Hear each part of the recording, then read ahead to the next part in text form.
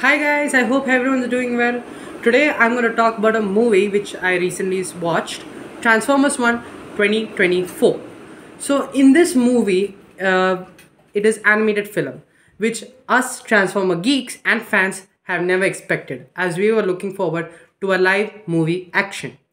So in this movie, it's talking about a backstory before Optimus Prime and Megatron started fighting. How was their relation bro- before?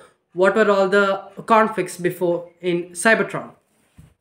So in this film, it's totally different from the other live action films as well as the series.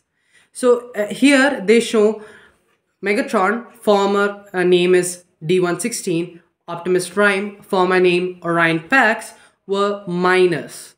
I repeat, they were miners, which this series they shown Megatron was never named D16. He was a gladiator. Only Orion Pax had its original name.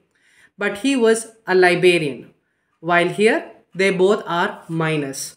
And uh, the animated film, it's uh, good and all, nice action uh, scenes, and it's very amazing.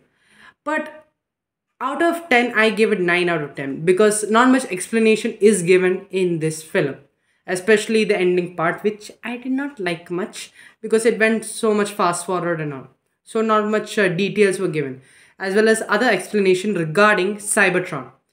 Cybertron they're showing that everyone is underground while on the surface everyone claims it's dangerous. So not much uh, explanation is given why it is so dangerous. What is causing those surface to give dangerous situations.